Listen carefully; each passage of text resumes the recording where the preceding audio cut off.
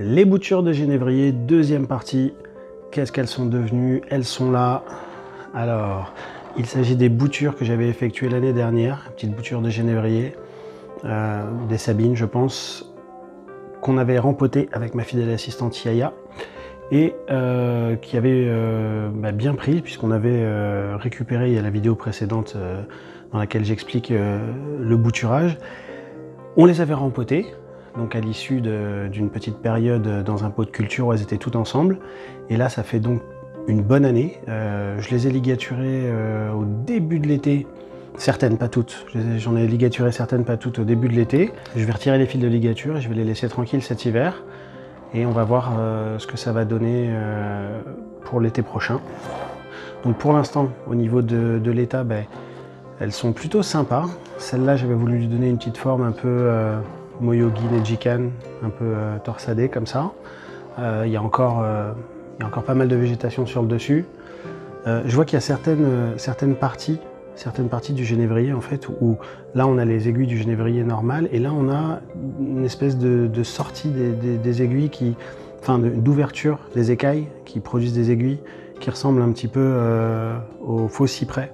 Alors a priori c'est peut-être lié au stress, mais c'est peut-être lié aussi à l'espèce de, de, de, genévrier, puisque j'ai vu que sur le plan mer, il y avait aussi certaines parties du plan mer où il y avait ce type de petites aiguilles comme ça, en tout cas de, des écailles ouvertes qui ressemblent un petit peu à, des cyprès. Alors je sais pas si c'est l'espèce ou si c'est dû au stress du rempotage, je sais pas.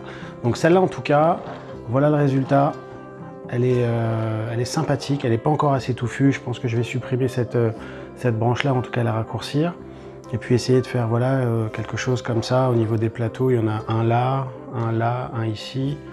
Celui-là, je sais pas trop. Et puis peut-être raccourcir le, sommet de la tête un petit peu, mais voilà, celle-là elle est en, bonne voie, on va dire. Dans le même style, on avait cette deuxième, euh, cette deuxième petite bouture aussi, pareil, euh, que j'ai fait dans, le même style, torsadé comme ça, Nejikan plutôt. Euh, j'aime bien, j'aime bien ce, style-là. Alors, quand on fait ce style-là, il faut toujours faire attention à ce qu'il n'y ait pas de branche dans une courbure.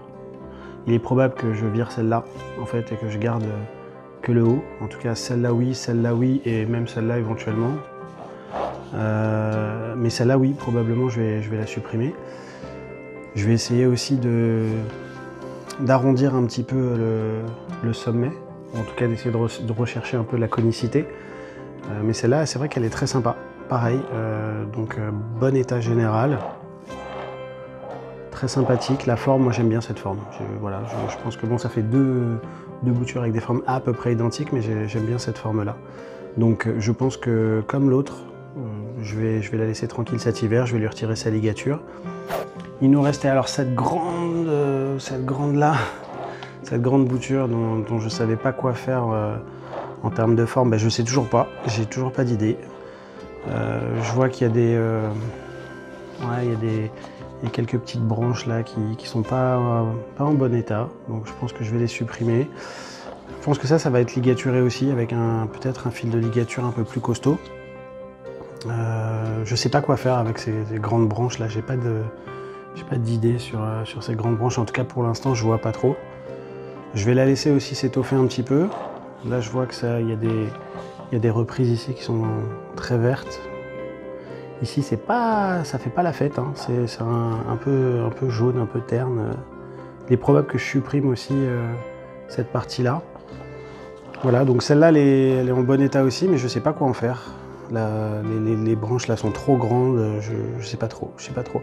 Avec ce tronc aussi qui est, euh, assez, assez costaud, mine de rien. Mais là, j'ai pas, pas vraiment d'idée sur ce que je peux faire avec elle. En tout cas, pas pour l'instant.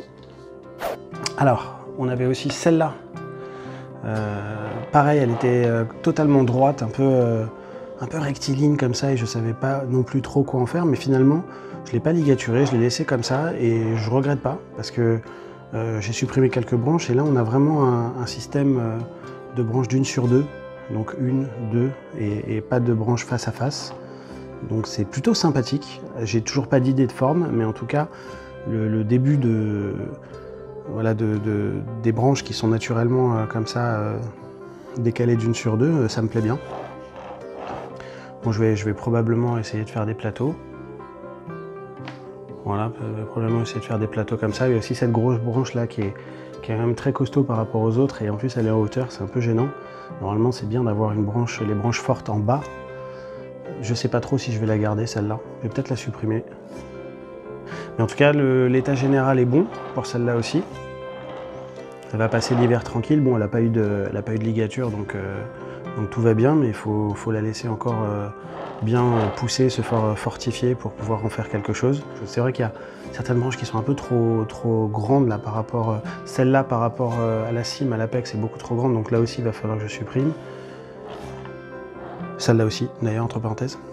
Mais sympathique, en tout cas, et ça présage de quelque chose d'intéressant pour celle-là. Et puis il nous reste alors l'erreur. Espèce de petite euh, bouture euh, de Juniperus bluscomata que j'avais, euh, je sais même pas ce qu'elle fichait dans le, dans lot. elle a vachement poussé en fait, beaucoup beaucoup d'ailleurs entre parenthèses. Et quand je l'ai rempotée, je me suis aperçu qu'elle était, elle était assez longue, donc eh ben, je l'ai ligaturée, mais bon, voilà, ça, ça, nous fait une petite plante d'ornement plus qu'autre chose pour l'instant en tout cas. C'est mignon, c'est sympathique. Je n'ai pas trop d'idées dessus. Euh. j'ai mis les ligatures un peu comme ça, hein, mais euh, je ne suis pas vraiment sûr de, vouloir en faire quelque chose de concret. En tout cas, sur cette forme-là, elle est pas mal. Donc je la laisserai bien comme ça, avec éventuellement euh, voilà, quelques tailles quand les, branches partent un petit peu là, et c'est tout. Enfin, je n'ai pas, spécialement d'idée là pour celle-là, mais cette petite forme, elle est rigolote. Je vais la garder comme ça. Voilà, donc c'était l'état des, euh, des petites boutures de, génévrier. Elles sont, toutes en bon état, elles ont toutes bien tenu. On va les laisser passer l'hiver tranquille et puis euh, l'été prochain on va procéder à une petite taille.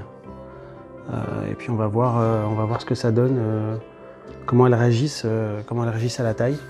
Là, je vais me contenter d'enlever les ligatures, les nettoyer un petit peu.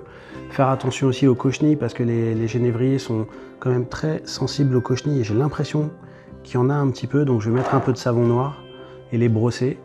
Et puis, euh, puis c'est tout. Puis après, je vais les laisser passer l'hiver tranquillou. Voilà pour les boutures de génévrier.